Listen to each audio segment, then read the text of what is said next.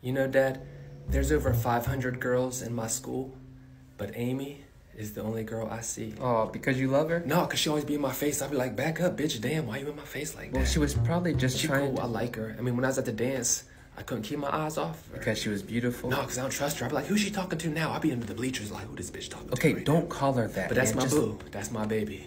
And I think I've fallen in love. With Amy? No, with her friend Stephanie. This bitch cold as fuck.